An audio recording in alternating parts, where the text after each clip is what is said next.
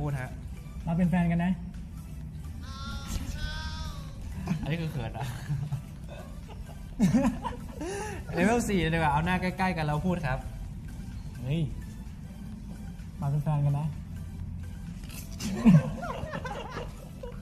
เป็นอะไรบ้างเลเวลสุดท้ายจับแก้มกันเราพูด ไปลุยจะจับแรงนะฮะไม่รับเลยเหรอ ดี๋วแป้นแตกครับเพราะโบกมาเยอะ เราเป็นแฟนกันนะ เฮ้ยเขาก็เป็นปกติเขาเป็นแฟนกันอยู่แล้วครับ อ้าวเฉยเลย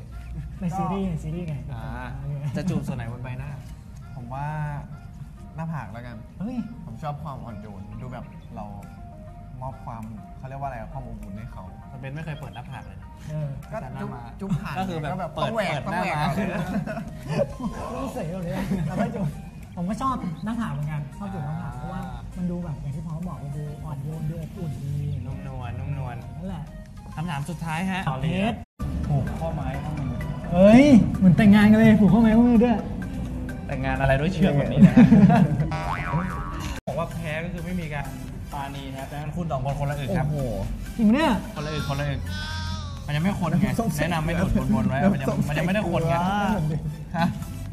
ไม่ได้นะครับ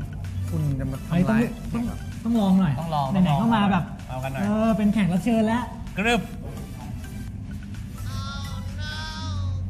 ไม่แย่ผมใส่ไม่เยอะผมใส่ไม่เยอะอื้อหือ